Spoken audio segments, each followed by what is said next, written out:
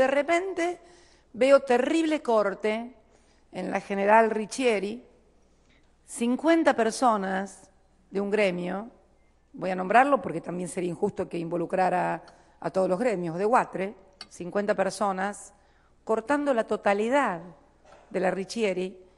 eh, haciendo colas de kilómetros de autos, de gente que va a trabajar, de camiones que transportan mercadería. La protesta eh, política tiene derecho a hacerla una persona, 20, 100 o 1000. Pero me parece que estamos en otra Argentina y que los argentinos merecemos otro tipo de prácticas para formular las protestas políticas, gremiales o sociales, porque en realidad eh, si no estamos realmente equivocando el rumbo, sobre todo cuando estamos viendo lo que está pasando en el mundo. Así que yo le pido a todos aquellos que quieran protestar que no se priven de hacerlo, pero que por favor lo hagan sobre la vereda, sobre la plaza, aquí en la Plaza de Mayo, que es un ámbito tan, tan particular para venir y que no nos obliguen a tener que desplazar a gente que está cuidando a otra gente, a otra gente a través de patrullajes, a través de, brindar seguridad. Es realmente casi un crimen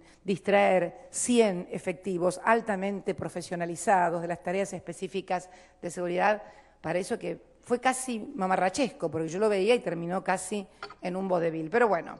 eh, son las cosas que pasan. Eh, yo les los tengo que felicitar también por el grado de profesionalismo con que lo hicieron.